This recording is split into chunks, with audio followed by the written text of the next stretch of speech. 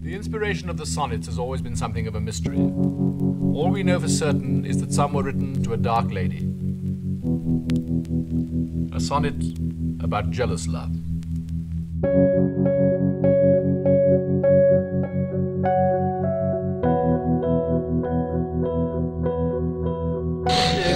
Common, all that lives must die, passing through nature to eternity. Aye, madam, it is common. If it be, why seems it so particular with thee?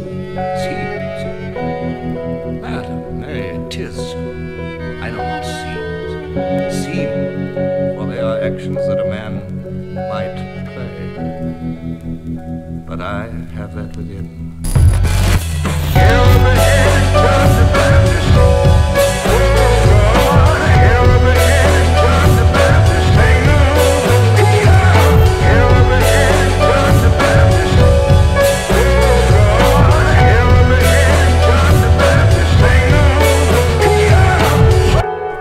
Not that I am the thing I was. For God doth know, so shall the world perceive that I have turned away my former self. So will I those that kept me company.